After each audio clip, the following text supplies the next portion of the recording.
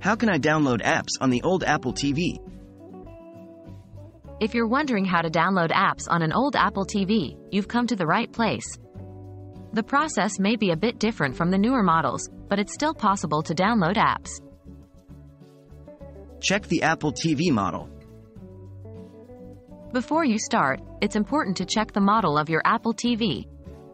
The first and second generation Apple TV models don't support the App Store.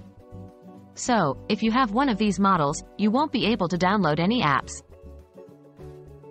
Access the App Store. Assuming you have a third generation Apple TV or later, the first step is to access the App Store. To do this, navigate to the main menu and look for the App Store icon. It looks like a white shopping bag with a blue background and the letter A on it. Browse or search for apps. Once you're in the App Store, you can browse or search for apps. To browse, select one of the categories such as entertainment, education, or games. To search for a specific app, use the search bar at the top of the screen. Download and install apps. When you find an app you want to download, select it to see more details. Make sure the app is compatible with your Apple TV and then select the Get or Download button to start the download process.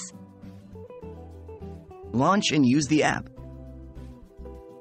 After the app is downloaded, it will appear on your Apple TV's home screen. Select it to launch and start using it.